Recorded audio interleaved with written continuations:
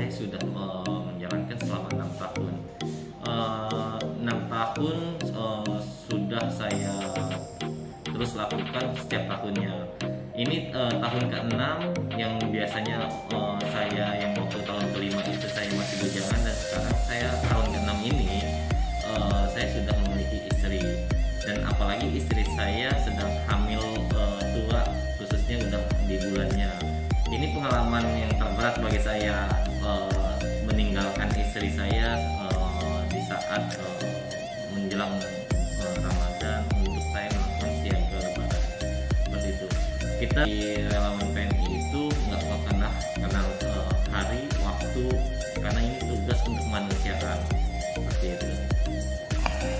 ya uh, bicara untuk keluhan terhadap istri terkadang ada seperti itu.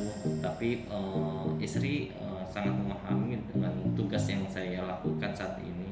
Bahkan uh, karena di sela-sela libur saya juga saya masih tetap tugas jadi uh, kurang terhadap waktu terhadap istri.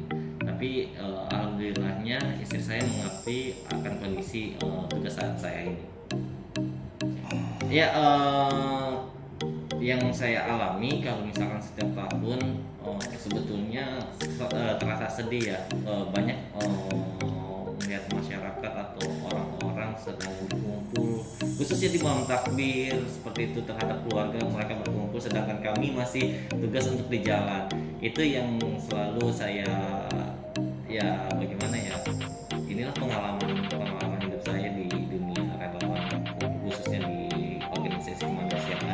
jadi ya tetap semangat saya uh, saya pribadi tetap semangat walaupun melihat uh, banyak orang-orang yang berkumpul uh, terhadap keluarga di saat hari raya uh, kadang kami uh, masih tetap bertugas ya uh, alhamdulillah uh, kalau untuk bicara komunikasi lancar hampir setiap hari kami komunikasi sekarang sudah uh, teknologi sudah mulai canggih ya adanya video call. Jadi uh, walaupun saat saya lagi tugas kadang istri uh, juga sering melakukan uh, video call saya juga selalu melakukan video call. Jadi uh, rasa kangen rasa ininya terobati lah dengan adanya uh, kita selalu komunikasi dengan lancar. Uh, saya juga uh,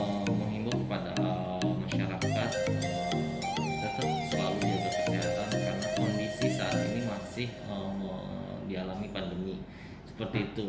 Saya menghimbau kepada warga uh, jangan dulu mudik uh, sayangi keluarga kita yang ada di kampung halaman. Seperti itu. Karena takutnya uh, kita mudik kita yang uh, membawa atau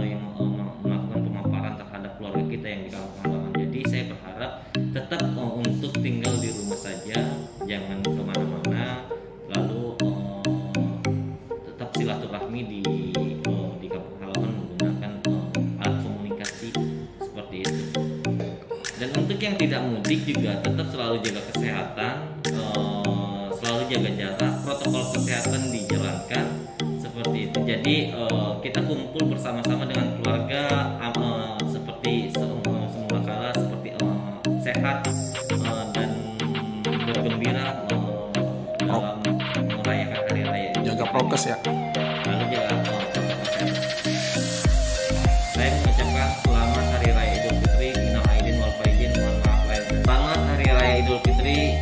aidin wal faizin mohon maaf lahir batin semoga harapan saya di tahun ini pandemi uh, virus corona cepat menghilang dan kita terbebas semua dari pandemi ini Jangan lupa subscribe ya.